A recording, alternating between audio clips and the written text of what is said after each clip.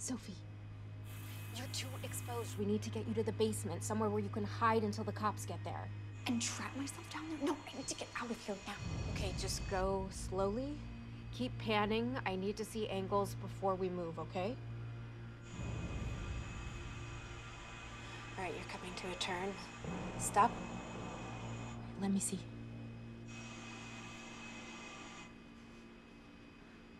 All right. You've got one guy in the foyer past the door on the far wall. No, no, no, you can't go back that way. No, the other guy's there. Show me the wall. Oh, door, 10 o'clock.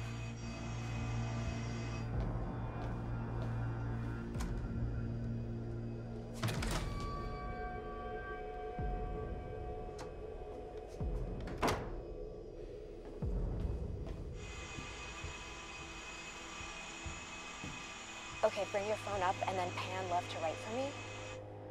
Okay. We got one guy drilling facing the wall. That hallway at 11 o'clock goes away from both of them. If you stay down, you can make it. I know where the front door is. I'm gonna go for it. No, no, Sophie, not the door.